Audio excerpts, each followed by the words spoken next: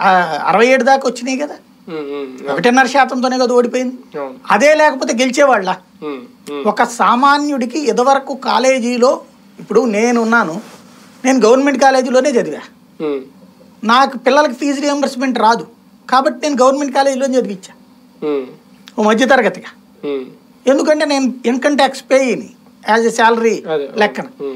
ఆ స్థాయిలో చదవాలని నాకు అప్పు చేయాలి. అప్పు చేస్తే తీర్చగలుగుతానో లేదో తెలియదు ఈ ఉద్యోగాలు. ఉమ్, కాబట్టి నేను అట్ట చదివించుకున్నా. ఉమ్, నిజమైన పేదోడు నేను.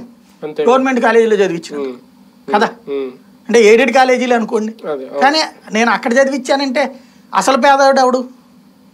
కానీ నేను నాకు ఇస్తుందా గవర్నమెంట్ పథకం? రాదు. వీళ్ళకి వస్తుంది. అది తేడా. ఒక రకంగా ఇండైరెక్ట్గా పేదలను కూడా మీరు మాకు ఓటేయకపోతే ఈసారి వైసీపీని గెలిపించకపోతే పెత్తందారీ వ్యవస్థ మళ్ళీ మీ మీద దాడి చేస్తుంది అని ఒక బెదిరింపు కూడా కనిపిస్తుందా? ఖచ్చితంగా.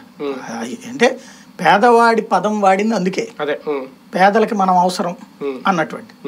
ఆ మొక్క వాళ్ళలో చర్చ జరగాలి. ఇప్పుడు ఇవాళ కూడా ఆల్రెడీ జరుగుతున్న చర్చ అదే. జగన బాబా పవన అన్నప్పుడు సంక్షేమ పథకాలు ఇస్తామని వీళ్ళందరూ ఎందుకన్నారు ఇప్పుడు? అవును. బాబు పవన్? అదే కొనసాగిస్తాను కొనసాగిస్తామని? అంతకంటే ఇస్తాం అని ఎందుకు చెప్తున్నారు? రేపు పొద్దున అది పోతుందంటే ఏ ఒక్కడు ఒప్పుకోడు. ధైర్యంగా చెప్పానండి నేను హైదరాబాద్ టైప్లో ఇంకో నగరం సృష్టిస్తా. అట్టా సృష్టించాలంటే ఇప్పుడు జగన్ ఓ లక్ష ఎనభై వేల కోట్లు ఇప్పుడు ఖర్చు పెట్టాడు. ఇంకో రెండేళ్ళలో కలిపి ఓ రెండున్నర లక్షల కోట్లు ఖర్చు పెడతాడు. నేను ఇట్ట మీ అందరికి డబ్బులు ఇచ్చి మిమ్మల్ని ఇబ్బంది పెట్టనాయా మీకు ఎవరికి డబ్బులు అనవసరం. ఎందుకు? మీరే కష్టపడగలిగిన వాళ్ళు నేను ఒక నగరం తయారు చేసేస్తా రెండున్నర లక్షలతో.